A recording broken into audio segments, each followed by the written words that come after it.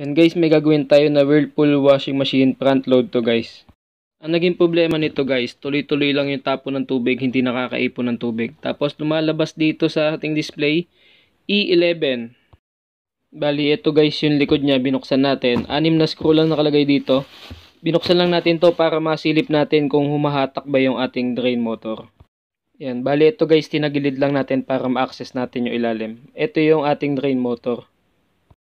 Yan na guys, ito na yung ating drain assembly. Tatlong screw lang yung tatanggalin nyo dito. Yan, ito yon. Ito yung ating screw. Ganyan lang kalaki yon. Tapos yung tatlo. Yan, kung mapapansin nyo guys, ito yung goma ng ating drain. Kagaya lang siya sa mga ordinary washing machine. Ayan o, oh, tingnan nyo. May alambre. Swerte mo Mike. Mike. Swerte mo, hindi yata board. Hindi yata board sira. Ayan, ayan. Tingnan mo, oh. may alambre. Paano nakapasok alambre dyan? Ay, hindi ko alam. Hindi.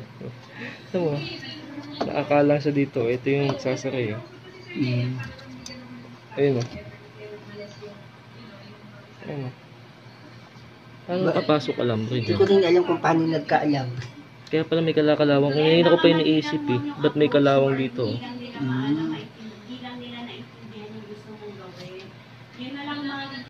Yan na guys. Ito na yung salarin kung bakit tuloy-tuloy lumalabas yung tubig. Kasi may alam rin nakapasok, nakakalang siya.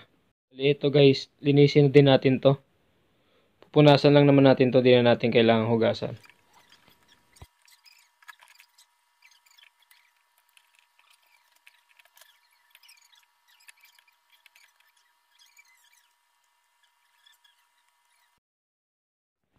Ayan na guys, malinis na ulit. Ayan, ibabalik na lang natin to.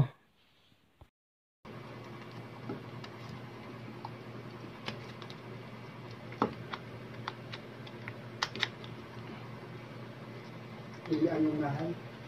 Hindi alam ko. Anong alam ko rin na, Doon sa sa tubo. ay, anong nangyari sa alam ko? Ayun yun, nakabara. Okay. Ito. Yan guys, okay na yung drain assembly natin. Punasan lang natin yung loob para siguradong malinis. Tapos, ibalik na lang natin to. Bali, tatlong screw lang naman to. Yan, nakikita nyo yung tatlong butas na yan. Diyan nyo lang ikakabit yan. Yan, kagaya nito.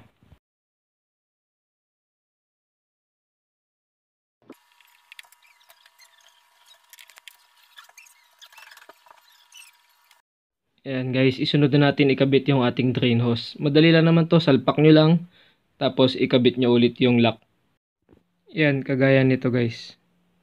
Tapos higpitan nyo lang to, gamit lang yung kamay. Bali, ganito naging itsura nyan guys, nakatagilid. Para ma-access natin yung ilalim. Yan, tingnan nyo yung itsura nito. Ito yung ibabaw. At ito naman yung ating ilalim. Diyan tayo gumawa. Yan, meron na yan. Kanina labas agad eh. Hanggang 14 ano lang. eh. Mm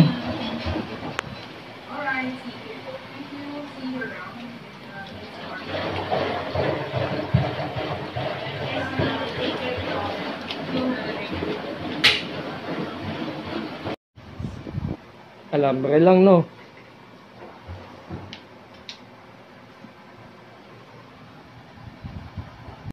Yan guys, okay na ulit. Working na. Kung nakatulong man tong video natin na to, please like, share, and subscribe para mas marami pa tayong maturuan at matulungan. Salamat!